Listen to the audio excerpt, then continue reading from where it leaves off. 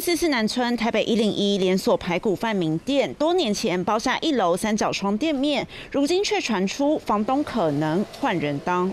位在庄敬路上的三角窗店面，光是一年租金就要三百一十二万元，不过近期却开价一点六八亿元求售。一楼全幢五十三点六平，换算单价三百一十三点五万元，租金投报率约百分之一点八六。房东户籍登记在地保五楼，市场推测可能就是知名投资客刘妈妈。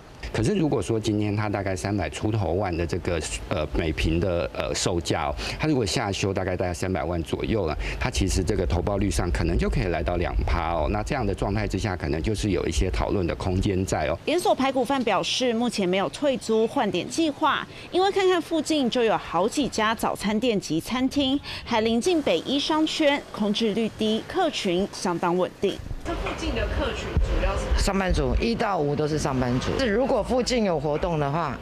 其实还是叫便当的人会蛮多的，吃跟逛都很方便，尤其夜市也很方便，对啊，而且交通很方便。吴兴街生活机能便利，虽然位在寸土寸金的信义区，但单品房价不到八十万。至于排骨饭所在的华夏，屋龄四十五年，平均成交单价六十二点五万元。随着房东开价求售，未来动向备受关注。三立新闻庄淑慧、伊丽婷台北报道。